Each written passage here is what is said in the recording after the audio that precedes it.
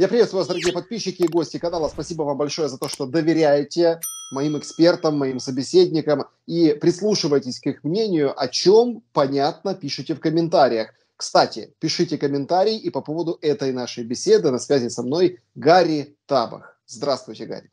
Привет, Александр. Хочу тебя поздравить. Ты 4 дня в Ютубе, уже 150 подписчиков, ну ты даешь, молодец. Ну, 4 не 4, но все-таки стараемся. И, кстати, вот эти подписчики как раз-таки э, с момента нашей встречи прошлой не могли дождаться встречи следующей и просили, настоятельно рекомендовали в этих же комментариях поговорить с вами, потому что действительно сейчас ну, такое тревожное время, и вот, казалось бы, вот этот пик напряженности, вот он именно в эти дни. В эти дни, да. потому что пасечник Пушилин с вот этими бумажками о том, что 98%, вот, вот сейчас вот проголосовали, поехали в Москву.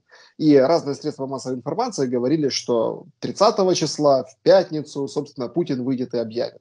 Позже говорили, что, ну, может, можно немножко позже, там, 4 октября. Но все же ждут не этого объявления в Украине, а того, что будет дальше.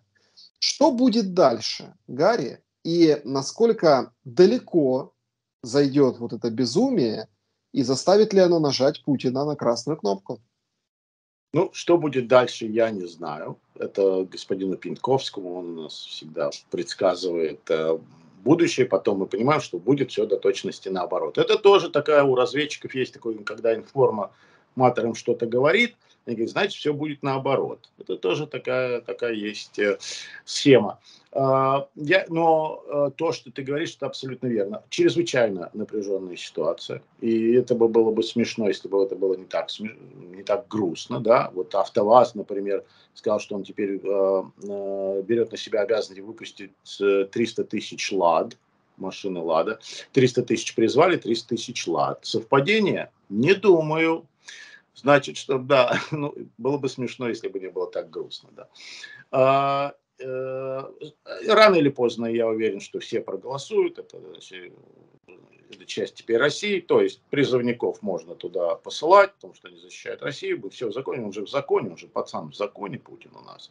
Все по закону. Ну, и также то, что ядерное оружие применять не совсем потому что ядерное оружие по закону Российской Федерации, ядерное оружие можно принимать, если только Россия в опасности, сама Россия. Поэтому, если вы возьмете Луганск, Донецк, Крым, это не значит, что Россия в опасности. Но они могут это переиграть как хотят. То, что многие эксперты говорят, у тебя на канале, на всех каналах, что он не может использовать ядерное оружие, что мы следим, американцы, что мы знаем, что они не понимают, о чем они говорят. Есть очень много разных вариантов, есть очень много. И потом мы уже довели ситуацию до, до такого коления, когда этого вообще могло не быть. Если бы прислушались к вашему президенту перед началом войны, когда он сказал, дайте мне оружие, а не такси, дайте, введите санкции перед, э, перед э, войной, если вы знаете, что будет война, а ему говорят, копайте окопы, у вас 72 часа, и вообще Байден э, Кулебе, вашему министру иностранных дел, сказал, думайте о своих детях, в первую очередь, мол, о сынишке особенно, подумайте в первую очередь, что он натворил в Украине. Вот, и э,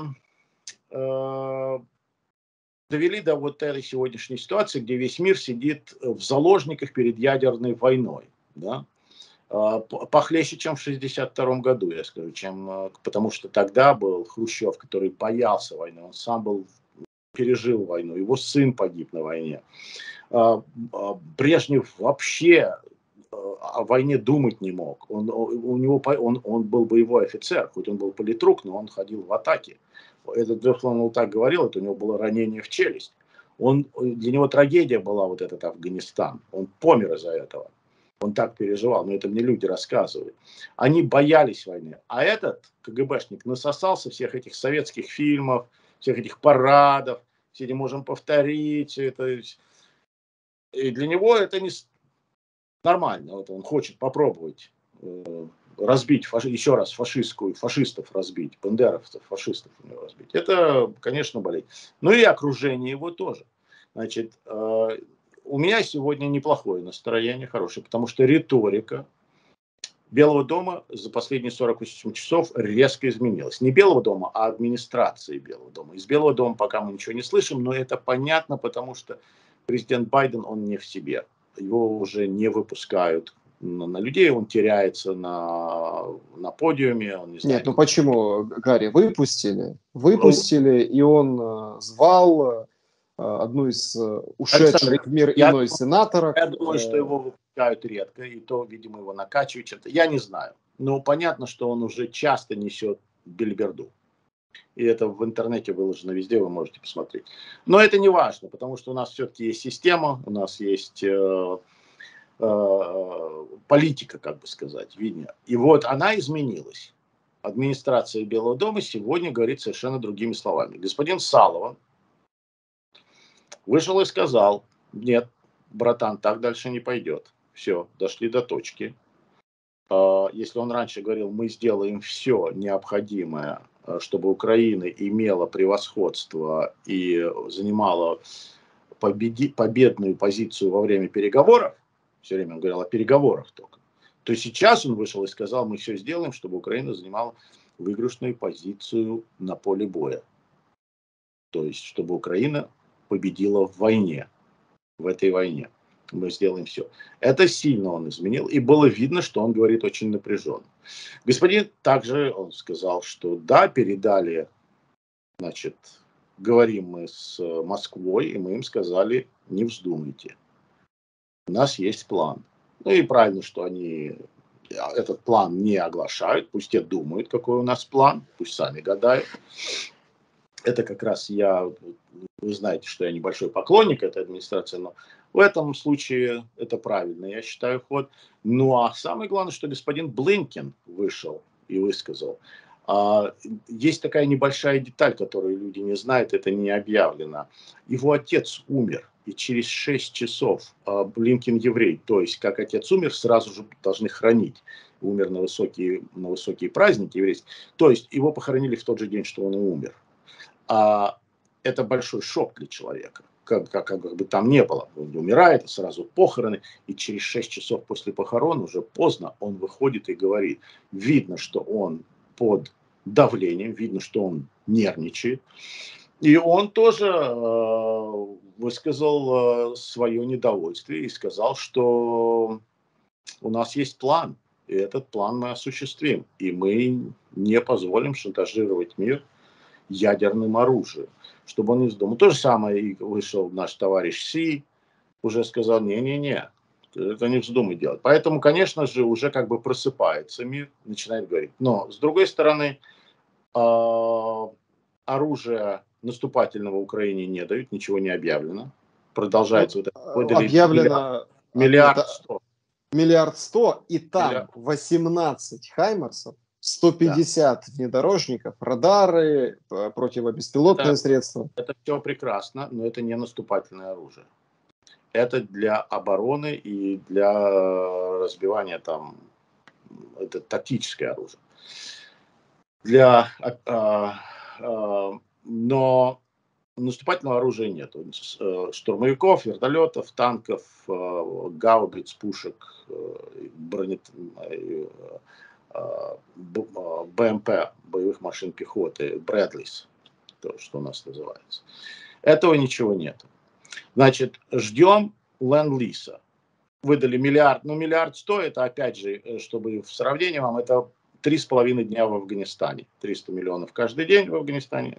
С кем мы там воюем, с кем вы здесь воюете. Разница понятна. Поэтому ленд-лиз это другое. Деньги это все-таки деньги, это бюджеты, это Конгресс должен э, с этим согласиться и подписать. Я уверен, что Конгресс проголосует за это. Опять это политические игры и все остальное. Ленд-лиз – это когда политические игры прекратились. У президента абсолютные любые права. Никакому бюджету это не привязано. Ничего у Конгресса он спрашивать не должен больше. Конгресс ему передал все уполномочия упростить, чтобы как можно быстрее передать все, что необходимо, чтобы разбить фашистскую Германию. Ну, с мая мы сидим нету ленд Хотя предложение по ленд было еще в январе, еще до войны было представлено в Конгресс. И э, разные уже варианты. И шесть сенаторов хотят идти, предложили идти в обход Белому дому. а, МакКоннелл, а, глава республиканской партии в Конгрессе, предложил, что новый закон издать, что, мол, президент обязан это делать, обязан давать, но он не может, потому что он в меньшинстве. Ну вот в ноябре, надеюсь, что это изменится. А, это может только в большинство вносить такие, такие законы. Поэтому я считаю, что риторика изменилась, но действий пока нету. И я надеюсь, что в ноябре, может быть, это изменится, а может быть, э, мы все-таки добьем, я надеюсь, что мы добьем, и все-таки пойдет ленд-лиз, что, что все-таки он начнется. Но на сегодняшний день Байден запросил 47 миллиардов долларов для Украины. Ну, опять же, это пакет, это называется для Украины. А в этот пакет входит борьба с ковидом, борьба с манкипокс, огромное количество денег в Южные Штаты для помощи э, стихийного бедствия. Вот у нас сейчас стихийное бедствие, видите, волны, это стихийное бедствие. Пальма упала, там, значит, стихийное бедствие в Южных Штатах. То есть, чтобы купить голоса в Южных Штатах для дем демократов в ноябре. А, для Украины там только 17 миллиардов, насколько я понимаю, и 7 миллиардов для вооружения. То есть то же самое, что и раньше. Uh-huh. 40 миллиардов, 6 миллиардов для вооружения, а там 15 для Украины, там для гуманитарной помощи, для всего остального. То есть э, республиканцы проголосуют против этого пакета. Правильно? Гарри, да. у меня вопрос, э, ну, это все, конечно, хорошо и прекрасно. Я но... хочу просто сказать, если они говорят, что будет лан лиз, вот сейчас он начнется, то зачем запрашивать 47 миллиардов? Да. Да, против это... которого проголосуют республиканцы. Потому что они понимают, что он покупает голоса в Южных Штатах этим пакетом.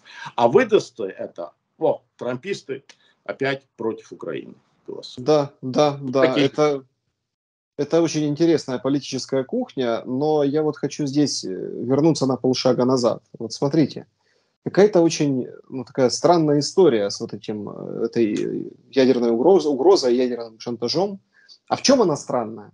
Потому что многие, ну, давайте я так назову, многие эксперты увидели параллели вот с 25 декабря прошлого года, потом вот то, что происходило с 16 февраля.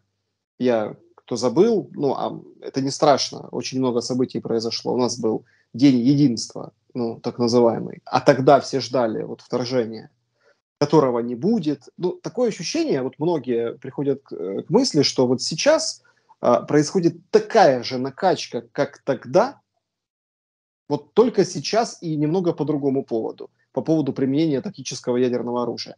Складывается такое впечатление, что ну, вот, вот берут на слабо э, и, собственно, ну, вот стараются вот информационно, по крайней мере, так точно, заявлениями, о которых там и вы говорили, да, вот из Соединенных Штатов, что говорят в Украине, это отдельная история. Это, ну, это понятно, это можно препарировать по-другому, но тем не менее. То есть, э, если ставить там себя на место Путина, то его, ну вот, вынуждают это сделать. Вам так не кажется? Или это такое слишком горе от ума и слишком закрученная мысль?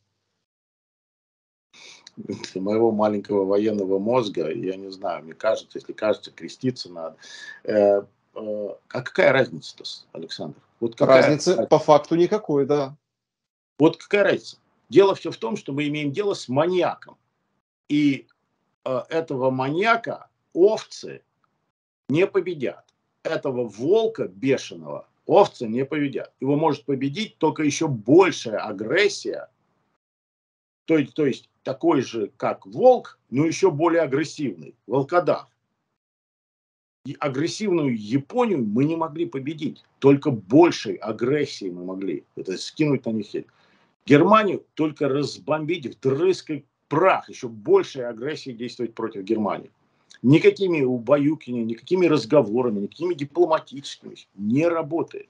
Не работает. Мы имеем дело с маньяком, который у него есть фикция в голове, что он должен уничтожить фашистскую э, Украину и таким образом войти в историю. Вот это его такая цель. Все эти заумные вещи, я считаю, какая вот там, э, я написал недавно ваши коллеги, говорю, вот что говорит один из этих, он говорит чепуху, он подставляет вас, он, он, он врет, он говорит, не врет, он говорит, он говорит неправду. Это он мне написал, он говорит, ну, может быть, он ошибается, может быть, ну, он уже пожилой человек, может быть, он не имеет плохого ума, умысла в этом, может быть, э, это он сам ее заформирован. А мне какая разница? Мне какая разница, у него умысел хороший или плохой, он ошибается или он врет, он это делает потому, что он сидит на соровских грантах или э, потому, что он полезный идиот. Мне какая разница, если он меня убьет своими, своими вот этими подходами. Мне разницы никакой. Я что, на том свете святому Петру буду говорить, а, нет, вы знаете, он ошибся, поэтому или он не имел плохого умысла, там, или он на соровские гранты, понимаете. Какая разница, что он думает? Его уму надо расквасить морду и надрать задницу. И только таким образом он, может быть, отступит. Но не думаю, не думаю, что он отступит. Но его окружение должно задуматься. Понимаешь, это крепостные. И они боятся барина, который их стегает каждый день. Они его боятся. Они отдадут ему дочь на, на изнасилование, они отдадут ему жену, чтобы он не издевался. И их бил. Ну, боя, ну, парень мой. А соседний парень плохой. И вот они, не, они будут этому барину, пока они не испугаются соседнего барина больше. И когда соседний барин их напугает больше, тогда они своего на вилы поднимут. Потому что они того будут бояться еще больше. Тут то же самое его окружение это крепостные, они забитые, они боятся. Ну, вы же видели перед, перед февралем, когда он их всех повязал кровью, как они стояли, дрожали. Патрушев стоит, дрожит там. Это э, э, пока они не задумаются, не поймут, что мы еще сильнее, что они с нами закончат хуже, их семья, мы их уничтожим. Может быть, тогда вот они скажут, надо избавляться от этого маньяка. Он довел всех до ручки. Все, тут уже не шутки. Тут уже мы не сможем. Тут уже не сможет ни Лавров от, от, отчитаться, ни оленевод э, рогами там махать, да, да, крутить хвосты оленям. Это уже все не пройдет. Надо от него избавляться. Вот на это, эту стратегию, наверное, надо использовать. Поэтому надо быть жестче. А жестче быть, это надо, чтобы украинская армия была вооружена так, чтобы она могла перейти в контрнаступление. Сейчас зима, вы говорите, слякоть уже это будет сложно. А за зиму они окопаются. Особенно то, что они еще рабской силы сейчас набрали там полмиллиона, а то и миллиона догонят. И они окопаются. И тогда это уже будет сложнее все делать. А, а это зависит от вот нас. Глупый вопрос. Вот по поводу баринов очень интересная аналогия. Какого барина боятся больше? Простите, пожалуйста, но, собственно, если там, барин ну, условный Вашингтон, да, условный. Ну, Запад. И, ну, давайте, барин Запад, да. А воюет-то Украина. Да, да, воюет Украина, конечно. Но я бы сказал не то, что воюет Украина, кровь проливает Украина. Нет, воюет Украина. Но и, я имею в виду, гибнут-то украинские. И, и идут вперед. Вот сейчас, там, ну, будем, мы будем следить за новостями, конечно, мы будем проверять информацию. Замыкается кольцо вокруг Лимана, жуткая истерика Дай Жуткая истерика у, у, у пропагандистов. Там открыта дорога на Сватово, Луганская область, собственно. Дай бог. А, я, потому что я пока что вот после э, э этой, этого блицкрика победы под Харьковом все затихло. Ну, правильно, потому что все время не может идти. Нужны перегруппировки, нужны отдых, нужно много чего, чтобы вооружиться и опять дальше наступать. Но я не видел никакого окружения. И меня это, конечно же, настораживало и напрягало, когда все кричат «Ура, мы побеждаем, мы победили, враг бежит, и победа за нами». А окружения нет. Вот дай Бог, дай Бог, чтобы Бог услышал ваши слова, э, и чтобы мудрость ваших генералов, выдержка, мудрость и храбрость ваших воинов замкнули это кольцо. Ну да, это совсем другая история будет, совершенно другая, чем вот это да. контрнаступление на Харьковском э, направлении. Потому да. что зима уже на носу, и это усложнит очень всего много. Да, э, Гарри, так вот про баринов. А почему, ну, собственно, за Тайвань будут вписываться и идти умирать американские солдаты? а, собственно, за Украину, ну, там инструкторы какие, может быть, какие-то там помощники А, может, какие-то отпускники, которые помогают разобраться с техникой? Там а, не только это, к Тайваню уже погнали наши ядерные авианосцы, группы, группы погнали туда. А, самолеты наши там летают, учения мы проводим. Э, сказали, что да, мы впишемся за Тайвань, хотя, хотя с Тайванем у нас нет дипломатических отношений. Мы не признаем Тайвань как независимое государство, суверенное, как Нигде мы этого не подписывали, как, например, с Украиной. И вот очень хороший вопрос. Почему же за Тайвань мы посылаем своих солдат, мы говорим, мы будем драться, а в Украине еще до войны сразу же сказали, нет, солдат мы туда не пошлем, а, посольство мы убрали, посла никогда не прислали, если это будет э, внедрение большое, значимое, то это одно, а если незначимое внедрение, это другое. Впрочем, приглашали его заходи, пожалуйста. То же самое сейчас некоторые параллель проводят, вот не говорят, какой будет ответ на ядерный удар, мол, тоже его приглашают, тоже провоцируют. Здесь я не совсем согласен. Но это мы гадаем, что у него там в башке и что у него в окружении происходит. А, и а, да, вот такой хороший вопрос. Почему? Почему здесь вы должны думать о своих детях, о сынке своем, да? А там мы готовы послать своих сыновей погибать за, за Тайвань. Причем мы признаем, что Тайвань это часть Китая. Непонятно. Здесь мы позвонили и сказали за Крым, чтобы ни одного выстрела не было, чтобы сдали Крым, потому что мы вас тогда... Я думаю, что 2014 году был договор такой. Был такой а в этом, в 22-м может быть такой договор? В 22-м, конечно же, был такой же договор. А, и это не я говорю, это говорит э, господин Бернс, глава нашего ЦРУ, друг. Потому что когда они говорят, наша разведка донесла, и наша, это не разведка донесла, это донес господин Бернс, он об этом говорит публично. Он поехал, говорил с Путиным, наш глава ЦРУ едет, разговаривает с Путиным. Нормально? Да? Но он был послом там, и он был другом Путина. Это единственный без, беспрецедентный и противопротокольный эффект, когда посол дружит с президентом.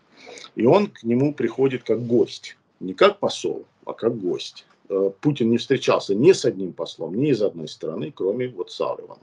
Ну, один на один, не как посол. В том смысле я имею в виду. Вот, и он говорит, что Путин ему сказал, 48-72 часа мы берем Киев, э, меняем власть, Украину разделяем, все ваши там демократические делишки шито-крыто. А, этот клон, актеришка, полетит к вам. Все, ему предлагают убежище вашему президенту а, бросить Украину на произвол судьбы, лететь в Америку и развлекать наших на Брайтоне. Он очень популярен да? его все обожают. Он за 72 часа берет Украину, берет ставит другого, и все. И никакой войны, все уж это крыто. И вы, и ваш сынок нормально. И дальше пилим, дальше пилим. Э, не сработало. Президент оказался не клоуном, а президентом войны. А украинская армия оказалась не бандеровская банда бандитов, а армия, которая встала на смерть Генерал Залужный оказался гениальным военачальником, а не купленными золотыми погонами. И украинский народ оказался героическим народом, который не драпанул, а остался на своей земле и дрался, как израильтяне. Да, женщины, дети как можно больше спасли, а мужики практически там, 90%, 80% остались остались воевать. Не потому, что границы были закрыты. Вы же понимаете, что через любую границу есть пропуск. Ну, там больше надо. Больше надо. Два пропуска. Знаете, вот тех Но людей... Этого, этого же массово не было, как сегодня мы видим в России. Этого массово. Поэтому они просчитались. Поэтому да, я считаю, опять, я не люблю гадать, ну, похоже, что и в 2014 году они договорились, и был создан плацдарм. Э, потом должна была прийти Клинтон, и все было закончено. Но тут нежданчик, им свалился на голову Трамп, который начал, ввел корабли в Черное море, стал, стали летать э, стратегические бомбардировщики над Украиной, наши морские пехотинцы, Сибриз, которых таких не было э, учений, как, э, дал летальное оружие Украине, снял вето, которое было наложено Байденом и, и Байденом и Обамой, санкционировал Северный поток и закрыл все консульства российские в, в Соединенных Штатах Америки. Не друг, не думай, что он завербован Путиным. Приходит, они, конечно, кричат, он наш друг, а Байден это очень опасно для нас, Байден приде порядок на виде. Приходит этот, снимает все обратно, уводит войска, уводит корабли, не присылает посла, то есть показывает все, и начинает все время летать господин Салливан, э, э, господин Салливан тоже, ну и господин Бернс, глава ЦРУ Москвы, и говорит, что вот такой план. Не я говорю, он говорит, вот такой план. Поэтому копайте окопы и думайте о своих детях, господин э, Кулеба, то есть ваш министр иностранных дел в этот момент понимает, это опять не я говорю, это говорит он. Он в этот момент понимает, что помощи ждать неоткуда. Но когда увидели, что это не сработало, все провалилось, то уже американский народ из Запада говорит, подождите, украинцы дерутся, на них напали, мы должны что-то сделать. Ну давайте ленд-лиз подпишем.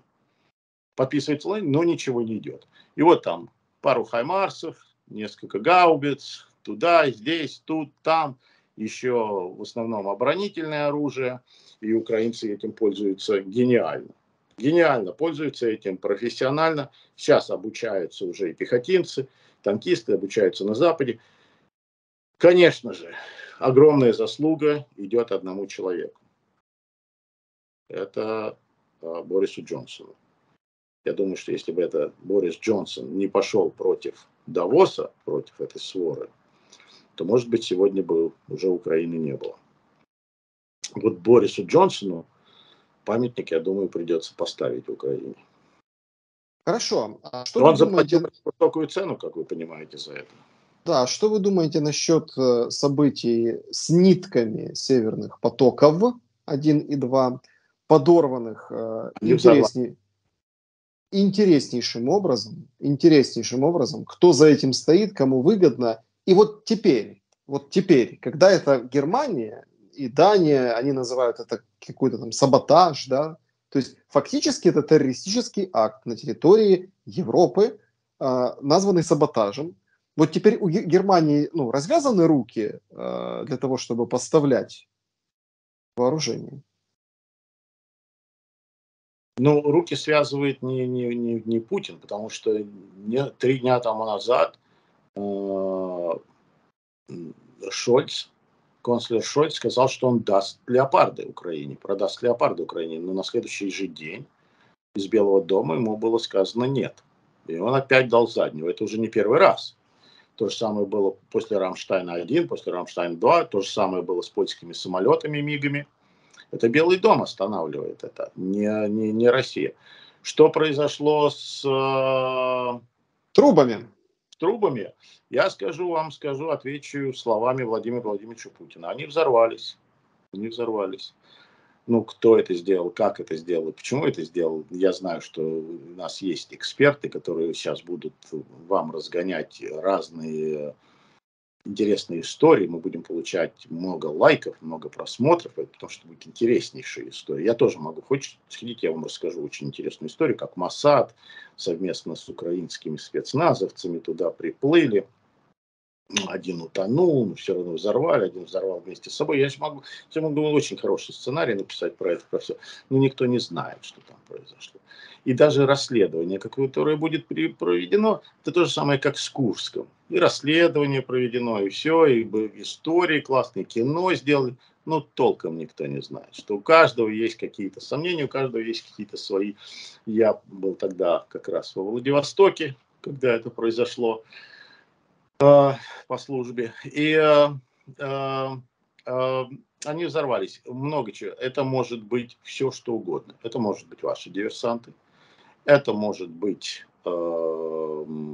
американские, кто-то говорит, что это американцы сделали, наши диверсанты. Это могут э, быть э, российские диверсанты, сами тоже сделали, могут быть российские партизаны. А могут быть, потому что это было сделано русскими руками, которые растут из жопы, и там что-то пошло не так, и как на э, лошарике они решили молоточком, кувалдочкой вскрыть эту бомбочку, и когда у них там вся элита подводного флота России на этом лошарике. Э, четыре, по-моему, там героя России, капитаны первого ранга, и, и взорвались.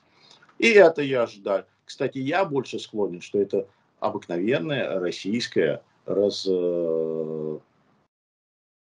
э, долбайство, mm-hmm. правильное mm-hmm. слово. Что что-то там пошло не так, или еще что-то. Но это опять же, это надо подождать расследование. Это надо посмотреть, что там произошло. Туда должны спуститься водолазы смотреть, что там произошло. Может быть, это кривожопость какая-то, а может быть, это и диверсия. Террористические акты это нет. Ну, вот здесь это, это немножко моя тема, да, потому что я люблю эти террористические истории. Для вас это не террористический акт, для вас это война. Это прекрасно, если вы, ваши, ваши пловцы это сделали, молодцы, правильно. Если это русские сделали, то это террористический акт. Это все смотря с какой стороны вы на это смотрите. Да, интересно. А, болгары говорят, что у них есть данные по террористическим актам на территории Российской Федерации, и поэтому призывают всех своих граждан немедленно каким-либо образом покинуть территорию России. Соответственно, это, это, конечно, американцы сделали, это сделали страны Балтии, поляки. А, Молодцы. Скажи, скажите, пожалуйста, что готовится Потому что самый простой вариант на поверхности, ну, вот который, ну, вот вышли же американские чиновники, ну, мы об этом говорили, пригрозили, а Путина это как бы не остановит, и тогда никто же не знает, какой есть план. Вполне возможно, что будут бить по территории России, а почему бы и нет, в случае применения Путиным ядерного оружия в Украине. Поэтому вот переполошились посольства, дипломаты и говорят, граждане, будьте осторожны, уходите или не будьте в скоплении большого количества народу. Американское а... посольство э, объявило, что американцы должны покинуть территорию Российской Федерации. Это тоже чрезвычайный такой поступок за последние 24 часа. Это случается редко, но как было в Украине, потому что бомбили, война шла, они говорят, слушайте, американцы, мы вас не сможем эвакуировать, валите отсюда э, любым способом. Э, и мне каждый день 3-4 смс приходило а, по этому поводу. Поэтому это чрезвычайная ситуация. В России же войны еще нет, но уже говорят, что американцы. И также, чтобы американцы не ездили в Россию.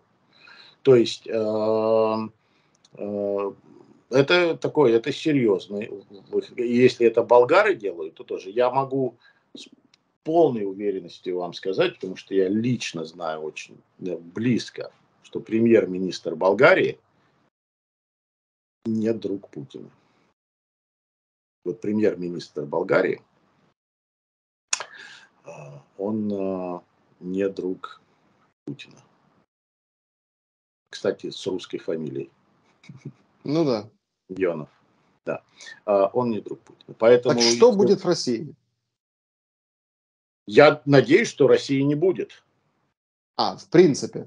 В принципе. Ну, той России, которая сегодня существует, я не знаю, что будет. Это опять господин там Пинковскому, к этим всем предсказателям, которых есть с космосом связи, они видят будущее. А, я надеюсь, что Россия распадется на несколько частей, и мы уже видим, что Кавказ, опять же, это люди, которые не, а, не были Э, крепостными, не были рабами, они свободолюбивые, очень похожи на украинцев в этом отношении, они любят свою землю, они оттуда никуда не уйдут, они будут драться.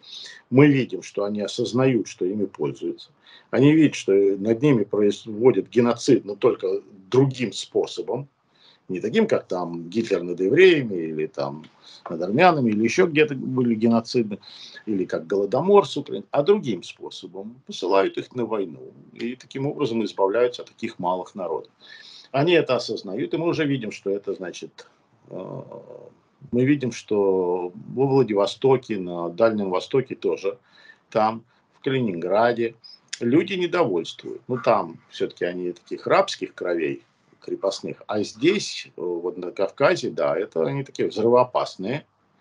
И я надеюсь, что в конце концов России в той форме, в которой она сегодня находится, ее не будет. Почему я надеюсь на это? Потому что после Бучи, после этой войны в Украине, после всего, что творили здесь русские, я не, я не, не оговариваюсь, не россияне, русские, то Россия в той форме, в которой она сегодня существует, мы с ней жить на одной планете не сможем. Мы не сможем больше жить. Я был один из этих придурков, которые в 90-е годы с моими белогвардейскими внуками, моими товарищами, власовскими детьми, которые мы учились вместе в училище, и потом служили с ними, мы все рванулись в Россию. Все, закончилось. Коммунистическая... Ельцин извинялся в ООН, в нашем Конгрессе за коммунистическую партию. Все, они хотят быть в цивилизованном мире, как украинцы сейчас. Они выходили на, значит, на демонстрации, они поняли, они осознали, что ни хрена, мой папа сказал, ни хрена они не осознали, они все равно пойдут обратно в ГУЛАГ. Они все равно выберут себе КГБшника и все равно пойдут обратно в ГУЛАГ. Из ГУЛАГа там охраны не надо было иметь они друг друга не выпускали. Если бы они, почему охрана их не выпускала? Потому что, говорит, если мы их выпустим, они вместе, нас вместе с собой обратно загонят. Как э, сказал великий э, Михаил Йосифович Веллер, народ такой, ничего не исправишь там. Ты не исправишь там. Это крепостной. Пока, пока их не будут водить по пустыне 30 или 300, наверное, с ними надо будет 300 лет ходить по пустыне, пока вот это вот вышибется из этого. Поэтому с этой, с такой Россией мы жить на одной планете не можем. Мы не можем все время быть заложниками, все время бежать, спасать ее каждый раз. И каждый раз они возвращаются и тащат нас вместе с ними в этот лагерь. Ну, ладно, ее. Я, например, вот, допустим, и у вас в, в программе много есть вот этих, которых я называю демшиза российская. Это те, которые э, демократические вот эти головастики все российские, которые либерально настроены, все эти поэты, шахматисты, математики, вся эта интеллигенция, которая уехала из России и ждет, вот э, как э, Илья Пономарев, вокруг него их много, они ждут, когда Россия распадется, когда Россия изменится, они приедут туда и вот будут выстраивать опять новую Россию. Вот я могу, я сказал это Илье Пономареву, вот на меня можете не рассчитывать. Я больше туда не поеду, я вас спасать больше не буду. На, я буду всегда, до конца своей жизни, я буду делать все, чтобы вас не было. Чтобы вас на планете не было вообще. Потому что с вами жить невозможно. Вы как только начинаете вставать с колен, у себя в голове, на с колен вы никогда не встаете, вы как лежали, так лежите. А, а, с вами становится невозможно, вы начинаете запугивать, вы начинаете, у вас, вы начинаете воровать, вы начинаете обман, вы начинаете убивать, вы начинаете себя вести как дикари. Уже у всех, у вас уже BMW, Мерседесы, компьютеры, зубная паста, айфоны. Вы уже ездили в Турцию, жрали сколько хотели, купались в теплом море. Никто вас не трогал. Чего вы вдруг НАТО забоялись? У вас все, какая НАТО? Какая НАТО вас трогала? У вас все было на, от НАТО, а, а, а вы все равно э, э ведете себя так. Чего вы добиваете? Кому вы нужны? Вас надо было прикончить в 90-е годы. Но... Поэтому вот это вот демшиза, которую я называю, которую спать, на меня можете не рассчитывать. Я буду наоборот. Я, я, Россия в той форме, в которой она существует, не может существовать с нами, с нормальными людьми, жить в одном доме, в одном дворе. Очень э, достаточно однозначные, резкие, понятные слова, Извините, а, пожалуйста. Я думаю, я думаю с, удо- с удовольствием а, там российская пропаганда вырежет кусочек из моего видео да. А, и, и у себя там где-то в этих шальных студиях покажут. Единственное, что, да. друзья, вы когда будете вырезать, лайк поставьте. Это я обращаюсь к тем, которые... Подпишитесь, подпишитесь. Да, да, и подпишите. Гарри Табах, да, вот. А взятое с этого канала. Я, ну, это... понимаете, мне, мне, понимаете, Александр, я помню, как и в НАТО, и в ООН, и везде. С 90-х годов, где-то вот лет 10 до 2000, даже 2010 года, я выступал и говорил, нет, нам надо помочь России стать членом общества. Нам надо им помочь, мы должны им помочь, мы обязаны, как люди ответственные, как люди, которые хотят жить в мире, в процветании, как мы помогли Японии, как мы помогли Германии, как мы помогли Корее, стать цивилизованным, частью цивилизованного мира, а не Северной Кореи. Ни хрена не вышло. Ни у меня, ни у людей, которые там в 17-20-х годах поехали. Поехали помогать, а они там голодомор устроили.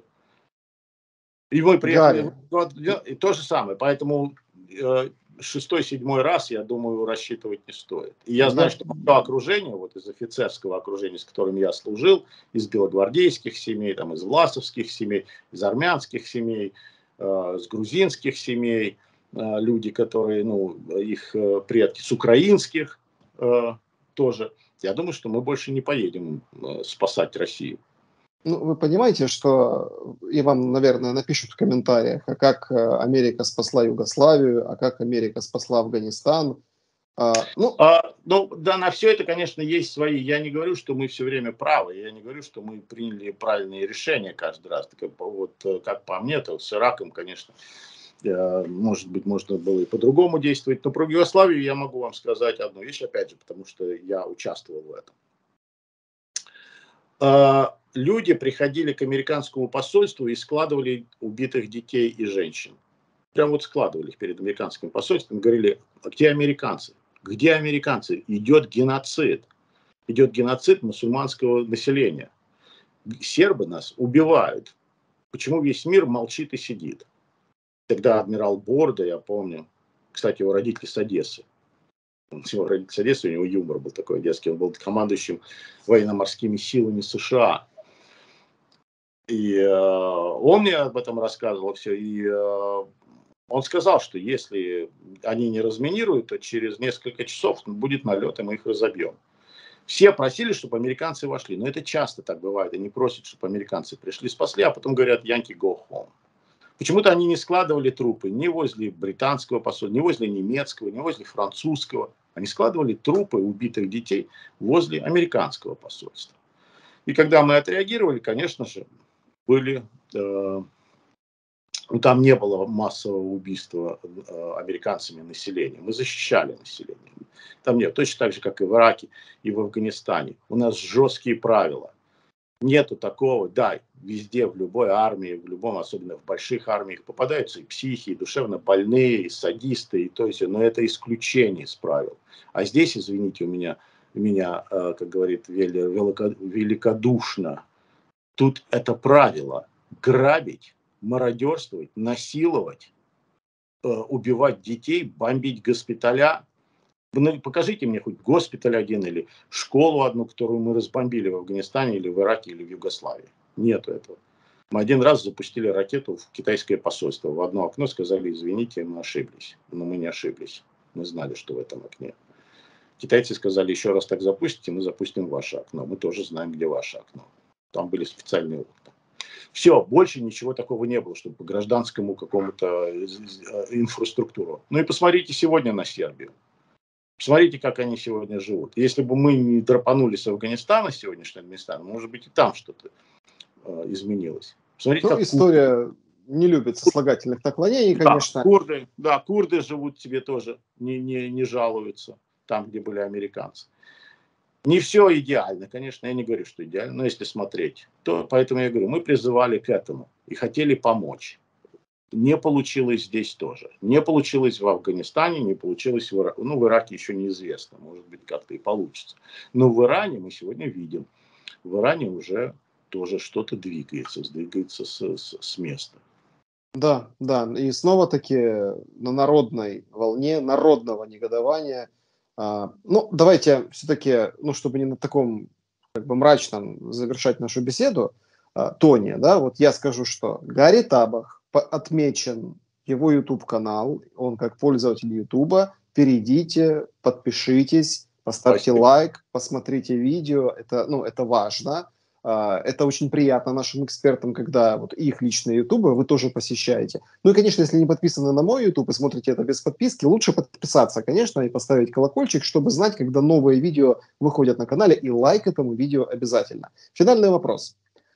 А, я его так готовил полегче, но это все, конечно, связано с нашей вот этой темой, да, вот, это, вот этой логикой, э, которую диктует Путин э, на вот этом из, ну, излете, да, вот, вот этих больших проблем и неприятностей, а мобилизацией. Но с необычным, ну, таким, таким женским уклоном, казахским женским уклоном. В соцсетях Казахстана, ну, в казахском сегменте соцсетей, Инстаграм, там другие вещи, э, скажем, ТикТок, ну, очень любят.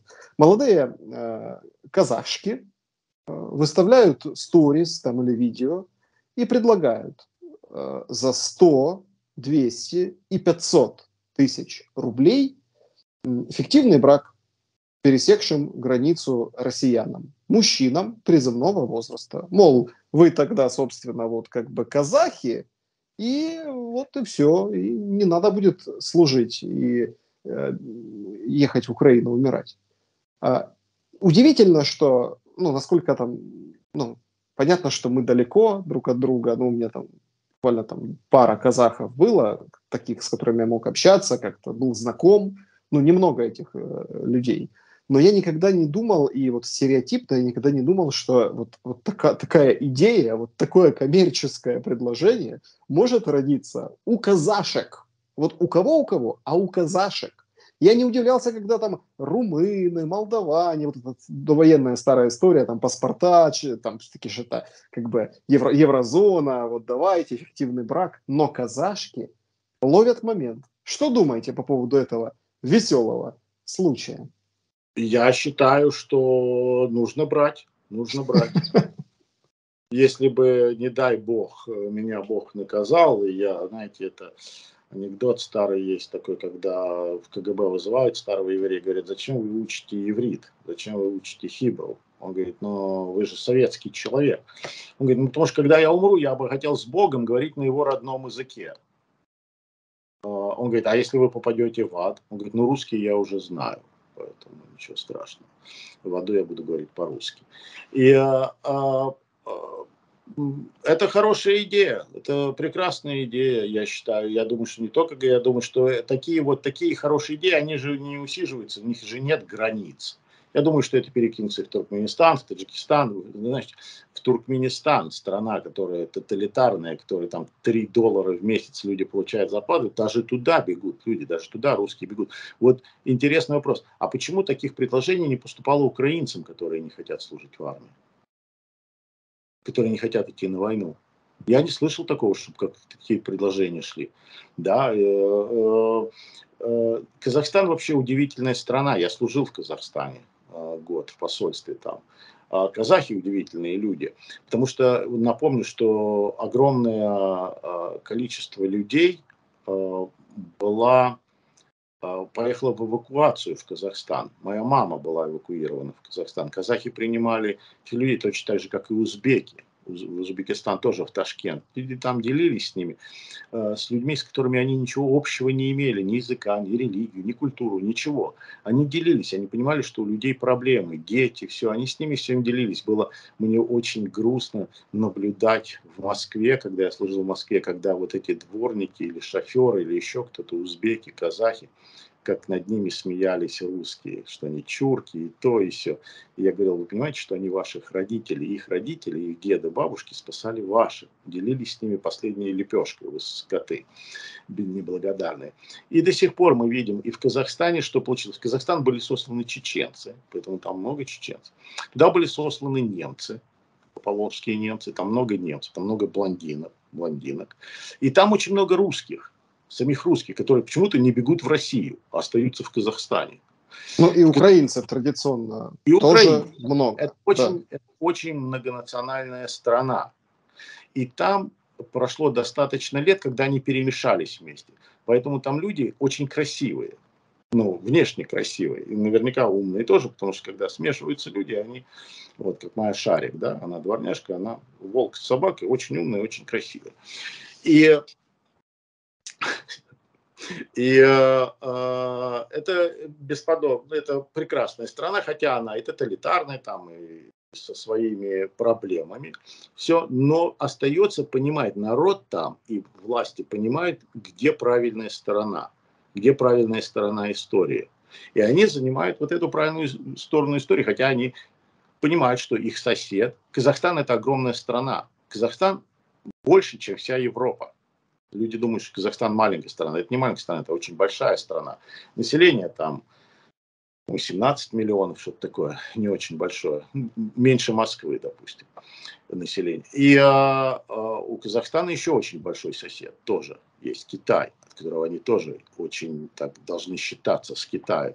Поэтому им очень сложно быть в такой ситуации, но они занимают вот такую позицию, и они принимают русских, которые бегут оттуда, хотя у них и так очень огромное русскоязычное, можем сказать, там русскоязычное население. Там очень, там, там, там а, похоронен отец самого великого равина а, еврейского Шнерсона, вот эту библиотеку, чью Советский Союз э, скоммуниздил. А, это очень многонациональный, очень а, хороший народ. Там хороший народ живет. Хороший, вкусная еда, хороший народ, прекрасная природа. И а, они добрые. Они добрые. Поэтому ну, идея, идея неплохая. Я, я считаю, что всем русским призывного возраста ребятам женитесь, не пожалеете. Женитесь, и, может быть, хоть здесь русские заплатят. Спасибо вам большое. Гарри Табах был моим собеседником сегодня Спасибо. И, конечно же, а, берегите себя, дорогие друзья. Подписывайтесь на канал и ну, увидимся точно. До скорого. Спасибо.